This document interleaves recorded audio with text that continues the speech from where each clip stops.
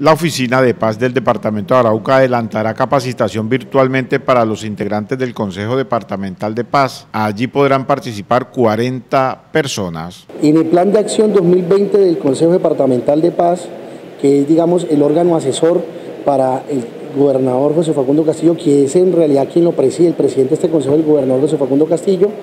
este Consejo de Paz que involucra a todos los sectores de la sociedad con un representante, una dignidad frente a este, este, este consejo,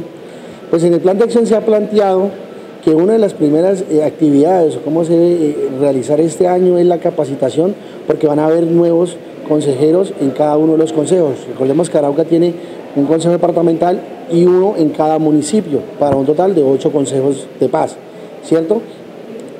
En este año han ingresado nuevos consejeros y los consejos que vienen participando desde el año pasado, los consejeros anteriores, pues se va planteado frente a la necesidad de capacitarlos y frente a los temas nuevos de, que se viene estableciendo como herramientas digitales pues, por medio de la pandemia, que nos ha obligado a cambiar la manera de cómo por lo menos reunirnos. Esteban Mosquera, asesor de paz de la Gobernación de Arauca, manifestó que esta capacitación se realiza con la oficina del Alto Comisionado para la Paz. Entonces empezamos a implementar en compañía de la delegada del Alto Comisionado para la Paz, la doctora Marta López, y de la eh, MAP OEA, en cabeza de Gerardo Arce, se ha planteado la necesidad de hacer esta eh, transmisión de conocimiento a cada uno de las dignidades del Consejo. En ese orden de ideas hemos creado entonces una capacitación virtual que va a permitir que 40 líderes, lideresas y consejeros de paz eh, tomen temas frente a la transformación social y la resolución de conflictos.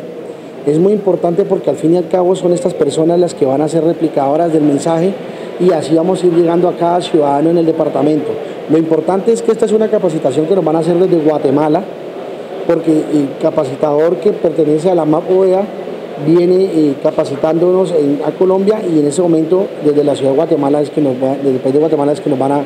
a capacitar a nuestros líderes y lideresas. El funcionario señaló que esta es la primera capacitación que se realizará a los líderes y lideresas del departamento de Arauca. Esta es la primera capacitación que se va a hacer a los líderes, y lideresas y consejeros y consejeras del, de paz del departamento y de los municipios. Sin embargo,